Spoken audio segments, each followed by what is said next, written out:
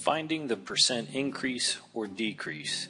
We're told the price of a technology stock has dropped to $9.54 today.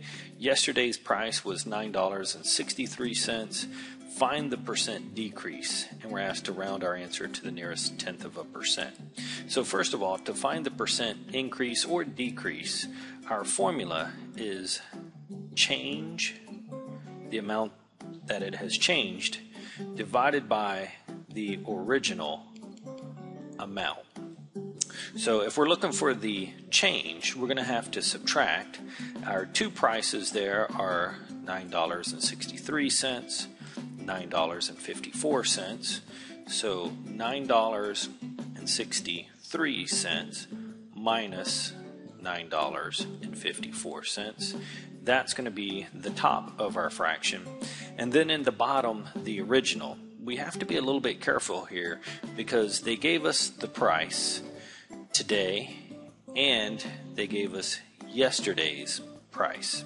So the original in this case is actually going to be yesterday's price of $9.63.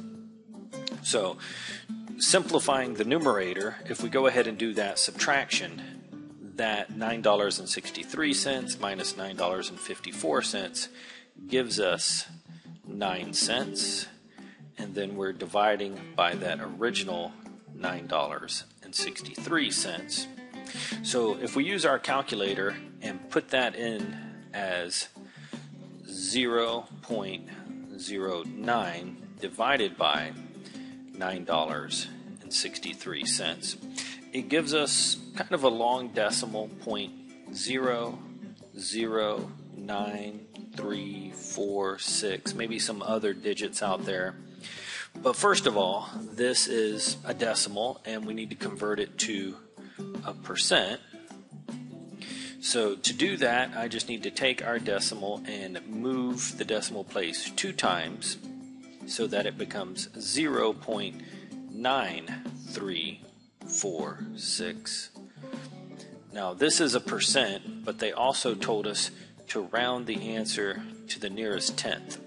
So if I'm looking at the tenths place, the digit behind it is a 3, so that means I can uh, round down to 0.9 and then drop those other digits. So as a percentage, this would be our percent decrease.